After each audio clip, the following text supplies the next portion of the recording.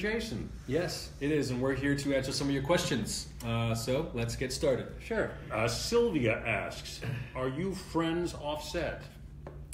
Um, depends what you think a friend is.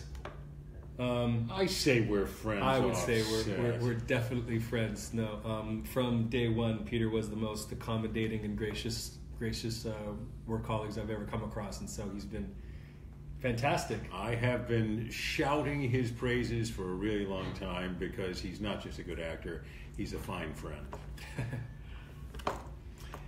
Harold asks, the fire scenes look great. Do you both enjoy filming those special type of scenes? The That only part, today, the only part I didn't like is I had to wear that fireman's hat, and I, I looked a little silly. I don't know. I think you look like a hero coming through there. In my eyes, you were. Um, yeah, I mean, I love doing that kind of stuff. I think it it, um, it changes it up a little bit. Um, whenever you can get out of you the regular kind of sets that we work in on more of a daily basis, it's always fun to kind of change it up. So I What I, what, I, what I thought was so good about those scenes, you have to remember, Jason was limited to what he could do with his head, with his face. No hands, no and, no movement. It was very impressive, really was. Kelly asks, "You two uh, look like you're having a blast in some scenes. How do you keep from laughing through some of them?" well, thank God for run-throughs. Yeah. Uh, yeah. There, there's a lot of laughing in the early part of the day. Uh, by the time we get to taping, we, we sober up. Yeah, for sure. But I mean, you know, we do really enjoy each other's uh, company, and um, so yeah, there is there's a lot of good times that we have for sure. Deb, uh, Nisha asks, so much love from Canada. Sweet. Um, if you could play any other character on the show, who would you want to be? Um, probably Jess. Jess's character. Um, You'd make a great Jill. yeah, I think so. I think Yeah. I think you know Jill just has a lot of fun. She's kind of fiery. She gives everybody a hard time, and she doesn't apologize for it. I kind of love her for that. Yeah, yeah. You? I, I uh, years ago we had a character on the show named Colonel Douglas Austin. He was Victor's closest friend, and he was a fake from top to bottom. He wasn't a colonel. His name Oh, probably really? wasn't Douglas or Austin, and he was just a hail fellow, well met, with lots of grand ideas, Oh, cool. and he was just a wonderful character. Fun character to play. Ellen asks, "How do you prepare for your scenes?" Take it. Um, well, I mean, for me personally, it usually always starts at home, going over it, figuring out what it is, what I what the character needs, what I want out of it, how I personally connect to it, um, and then uh, you know, obviously learning the lines and things like that. Then I come to work, and Peter's one of the best that we have here as far as wanting to get together and run it and just kind of flesh it out and and uh, understand what we're trying to get across and. Yeah, Yeah, I think I think the thing people would be most surprised by in terms of preparation. I don't know if this is true for you. Um, people always say, "Oh, you know, when do you read the script?" The minute it gets to my dressing room, I open it to find out what's happening next. I'm actually that interested. So uh, the process between that and a week later taping it, um, uh, I've spent a lot of time with the script. Yeah, that's really what it's about. William asks, when did you know you wanted to become an actor? That's a good question. It, it took a while. I was in high school before I started. Uh, in college, when I decided I'm leaving college to go to New York to be an actor, and then I still faltered many times. So I was probably 25 years old when I said, you know what? I'm not going to do anything else. I'm going to commit to this. Wow. And then when you committed to it, like, was it pretty quick? Everything changed. Really? Everything changed. Yeah, I started Wow. working a lot. Wow, that's Yeah. fantastic. Um, for me, it was uh, kind of a quiet little grumble in my own little stomach that nobody really knew about when I was uh, probably 16, 17, somewhere in there in like high school drama class. And then I bounced around in Europe and things like that for a couple years. And then when I got to LA, when I was just about to turn 21, that's when I kind of got into acting class and started to slowly kind of figure out what the whole thing was about and see if I could even, you know, do it. Um, so uh, yeah, and then a couple years of LA, probably about six, seven years of just auditioning and, and things like that. And then, um, you know, then once I started working consistently, um, you know, it all kind of changed at that point. But uh, as far as when I when I felt like I first wanted to be an actor, was probably about sixteen. Yeah. Victoria asks, are there any storylines on Y&R that you have actually hit home uh, that, oh, that have actually hit home and brought out some real emotions and pain. What was your most memorable storyline? Hit home. They all hit, hit home on some level. They all, you know, I lost my mother uh, uh, quite a long time ago, 20 some years ago. Um, and I'm playing this story right now with Dina and uh, and her loss, and a last chance to spend time with her, to get all I can of the time I have left with her. I've been there before, and it's pretty powerful to go through it again. Yeah. Um, you know, I mean, just personally, the way I work, and I would kind of speak for Peter here, I think we both bring in a little bit of our personal life into every storyline or try and figure out where it kind of impacts us personally so we can kind of regurgitate that feeling and be authentic with it. So, yeah, I think he's right. We They all kind of hit home in a, in a special way. Um, I thought you were going to say you, you slept with your brother's sister. No, no. No? My, my, my brother's wife? Yeah, my brother's wife. My brother's me, sister. brother's She's wife. the one- that's even worse, yeah. isn't it? It's a whole other storyline. my, my bro- you didn't, never slept with your brother's wife. No, I did not. Okay, just- no. just checking, just no, no, checking. no, I no. I'm not. You know, I, I don't. I don't. I thought I'd ask. Shelby asks, Jason, how did you not laugh hysterically when Gina was furious? Loved the scene when Phyllis dumps the coffee down the drain. Um, yeah, um, kind of like what Peter said earlier. You you read it through a couple times and then you put it on its feet a couple times. You rehearse it. So by the time you kind of you know do it for real, you've you've gotten that kind of stuff out. But Gina um, is she's she's taking this kind of comedic stuff like head on and she's doing fantastic with it she's so just good. she's so good at it she's she's just follows through and she pushes through and she has fun with it which is really really fun to be on the other side of that and watch it happen for sure Julie asked, "Where is your favorite place to go on vacation?" um, i mean me oof, hard to say um, off the top of my head i say uh, spain and, and, and rome italy those are two of my, my favorites I'm embarrassed by my answer. I am a New Yorker of the highest order. I just I cannot spend enough time there. I I uh, every time I go, I think, how can I own a home here? How can I live here? I yeah, New York does it for me. i'm going to be there next weekend Is that right? Yeah, I can't wait. Fantastic. Lynn asks Peter and Jason if you could give one piece of advice to your character, what would it be? Slow down, Jack. Slow down. Not so fast with the trigger. Smarten up, Billy. Just smarten up. Figure your stuff out. Kendra asks, Peter, I love your scenes with Melody Thomas Scott. What do uh, what do you enjoy about working with her? Uh, Melody and I have known each other for 28 years. Melody is in large part responsible for my ever being considered for this job. She was on a trip to Canada with her husband, who was executive producer of the show at the time, and uh, they had some soap opera magazines that said that Peter Bergman was leaving all my children, and she said, "That's Jack Abbott." Wow. and that's how I got called. So I I have a very special place in my heart for Melody, and what no one seems to know is she's a genuinely funny person. She makes me laugh. She's a really funny, clever person. Um, it doesn't come off all the time when you watch the show. Uh, KL asked Jason, "Are you from St. Albert?" Uh, that is true. I am from, born and raised in St. Albert. My mom saw you a while ago buying some chocolate bars at a gas station there. How did your career evolve end up at the, in LA? really? Chocolate bars? Yeah. I mean, usually I'm like a bag of chip kind of guy, but uh, probably was. I'm not- Tough day. You were low on energy. yeah, yeah, yeah. They were for my nieces and nephews.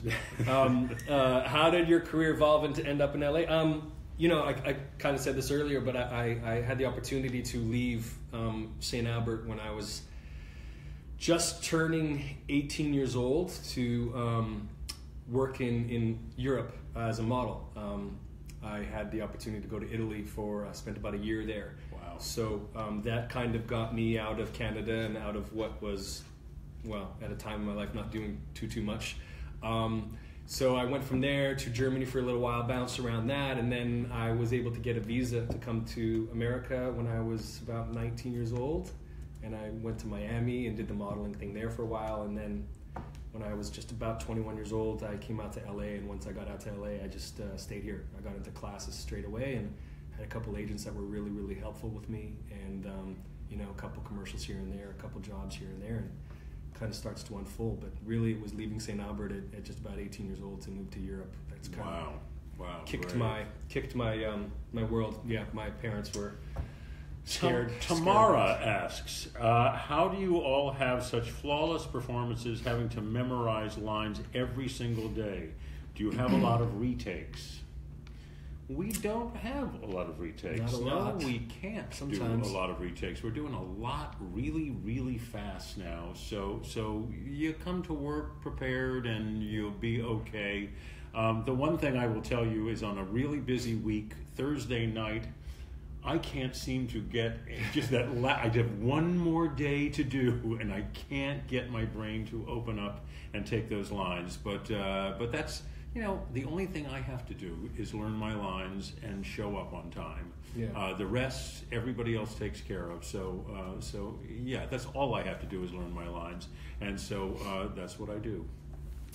Olivia asks, uh, "What do you guys like about working with Gina?" I mean, there's that's a long list.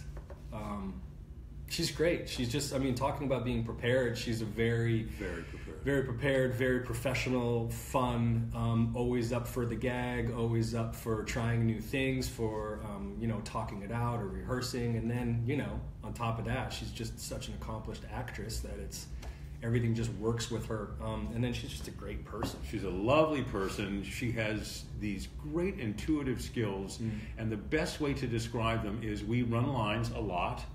Um, but what we get in dressing rooms and different places that we, we are running lines and everything, once we get out there and they say five, four, three, two, one for taping, um, you're not sure what you're going to get because she is going to come up with something something new, something that gives it a little tweak that changes it, and I always Yeah. look forward to seeing what it Yeah, is. just kind of listen to her and watch what's going on. Excellent actress.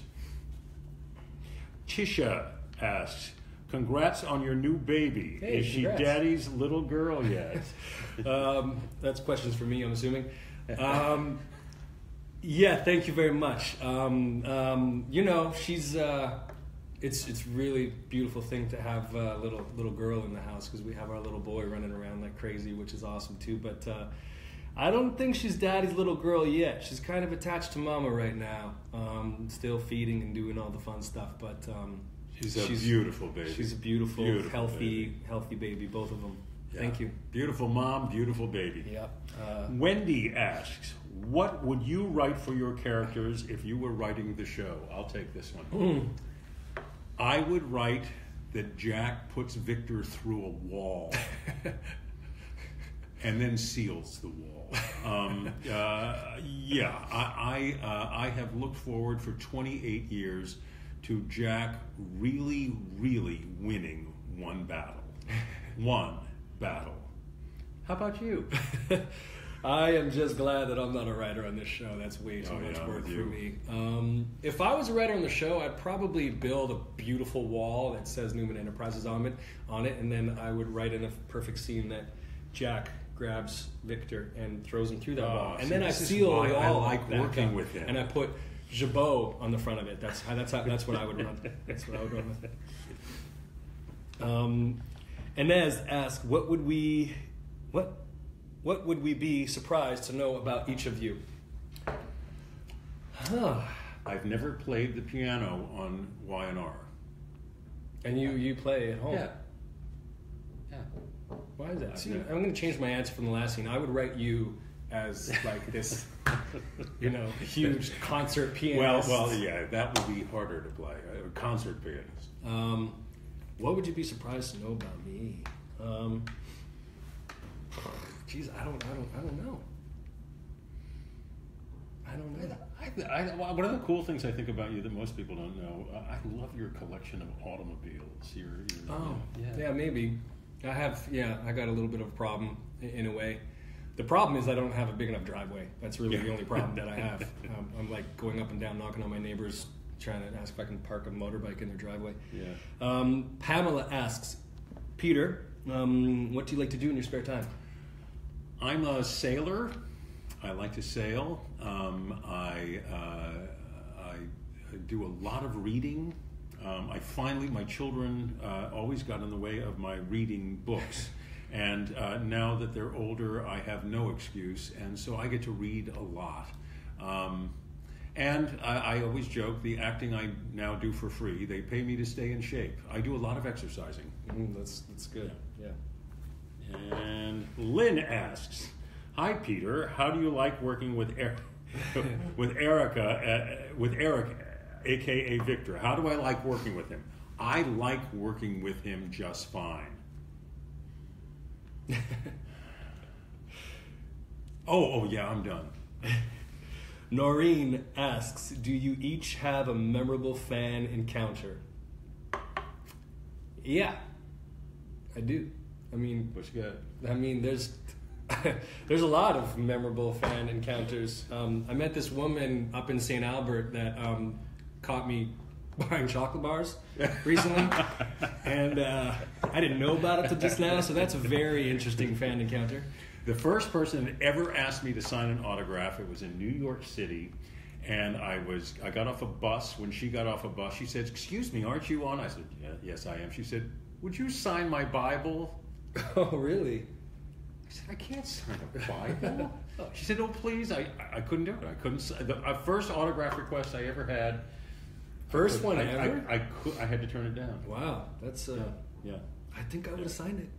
You would have signed the Bible? Probably. I know. I have funny Um, feelings about that. Rachel asks, "I love you both. Who uh, who are some of your favorite actors?" Jason Thompson, uh, uh, uh, Eileen Davidson, Beth Maitland. The, the entire Abbott crew is, is a great, great group of people. Uh, love Amelia Heinle. Love Melody Thomas Scott. Love Jess Walton. How am I doing? You're you're doing fantastic. You're speaking for both of us. Um, you have a couple like you like famous friends, actors like Brian. Do you look up to them as like actors too? Like, do you watch them and just are Sure. I, you know? I, I have friends that, that work in the theater and some friends who, who, who work in film and everything, and I always marvel at it. Mary Ellen always worries, is it hard for your ego sometimes? And I Mhm. think, no, I got to work at the top of my field, and Mhm. these guys are working at the top of theirs, and, and I love it. I Yeah. love going to a play where I know one or two people on the stage. Mm, yeah, that's cool. God, it's a wonderful feeling. That's right. Last question. Beth asks, "Can you give us any dish on upcoming storylines?" Yes. Um, Jack is in the acquisition mode. Jack's looking to acquire. That's true. You got anything? I don't know if I do. I, um, um, uh, no, I don't think I really do. Do I have anything going on? And I, I mean, I got and- stuff and- going on. I and, mean, and I, of course I got and I stuff heard, and I heard that we might be dealing with another Abbott soon. Another Abbott. Really? What do I know? More than me, apparently. Thanks for spending time with us. This is fun. Jeez. I'm intrigued now. Am I having a kid? No? Oh, damn it. Oh, Oh. thanks for all the time. That's all the time we have. Thank you so much for joining us. Make sure you tune in to Young and the Restless every weekday on CBS.